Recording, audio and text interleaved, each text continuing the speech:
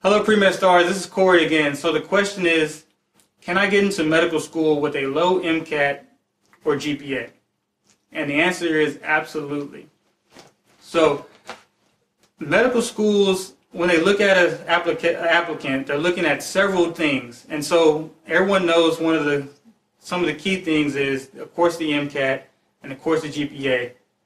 But medical schools are also looking at the holistic approach they wanted someone who is going to not just have the, the grades and academics, but also who's going to have the community service, who's going to have the research, who's going to have the leadership skills. And so if you do have uh, MCAT score that's not as high or GPA that's not as high, you want to make sure you have something else in your application that's going to show them that you really deserve a spot in their class and that you can bring something else to the table.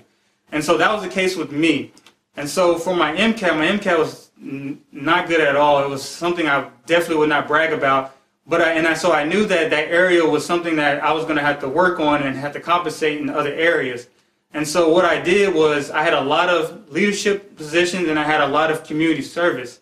And so those are kind of some of the things I kind of just emphasized on. And so I made sure that that was uh, I had a, I had a lot on, and so that can kind of compensate for my lower MCAT score. And another big thing is I did this uh, summer program at a medical school, and at that program, uh, I actually did very well in the program. And actually, when we got our evaluations back, the director said I was the top performer in the program, and I also had the, the best evaluation from my peers. And so this really helped me because I got uh, interviews at two schools, and at one of the schools was this school I did this program at.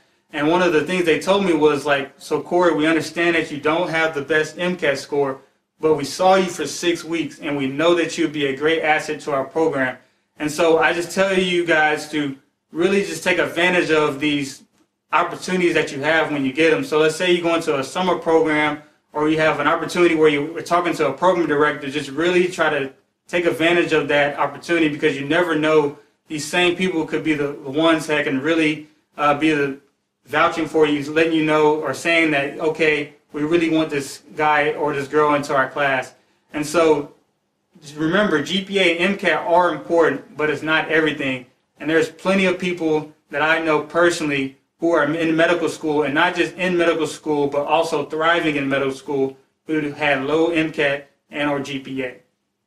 But I do want to let you guys know that uh, getting into medical school is hard, so it's going to be extremely harder for you if you do have a lower MCAT score or a lower GPA. So the best thing is, especially if you're younger, just to make sure that you're putting in the work so you don't have to be in that position. You want to make sure you have the highest GPA and the highest MCAT possible when you're applying. That's going to really put yourself in a better position of getting in.